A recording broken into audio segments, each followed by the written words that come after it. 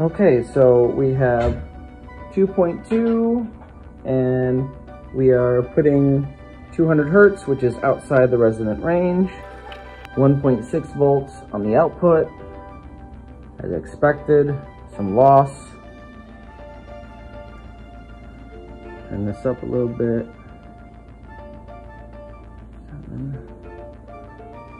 Okay, lights are on a little bit.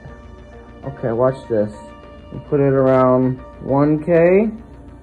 This, bright, fast spinning. And we get 4.4 volts on the output, 2.6 volts on the input. And this is like just clunking along.